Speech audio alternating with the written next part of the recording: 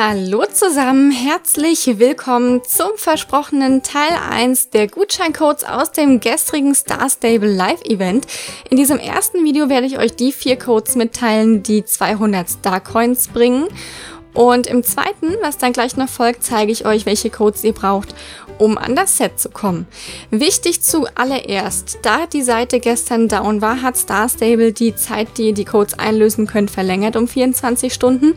Das heißt, bis morgen Nachmittag 15 Uhr so um den Dreh aller spätestens würde ich sie einlösen. Ansonsten weiß ich nicht, ob das bei euch noch funktioniert, aber bis morgen Nachmittag habt ihr auf jeden Fall Zeit dazu, sie einzulösen. Aber wie gesagt, lasst euch nicht allzu viel Zeit. Das äh, kann ich euch nur nochmal empfehlen. Also, hier die ersten vier Gutscheincodes, die jeweils 50 Starcoins gegeben haben. Da haben wir SSL Summer 18. Dann haben wir This is not a Code. Dann haben wir Ambassadors Rock. Und wir haben Secret Code.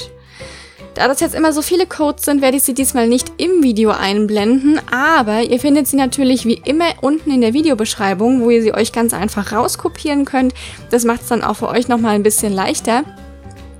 Diese vier Codes, wie gesagt, SSL Summer 18, This is not a Code, Ambassadors Rock und Secret Code geben jeweils 50 Starcoins. Das heißt, euer Starcoins Konto ist 200 Starcoins schwerer, wenn ihr die vier Codes eingegeben habt. Jo, das war's von den Starcoins und gleich kommt dann noch das Video zum Set.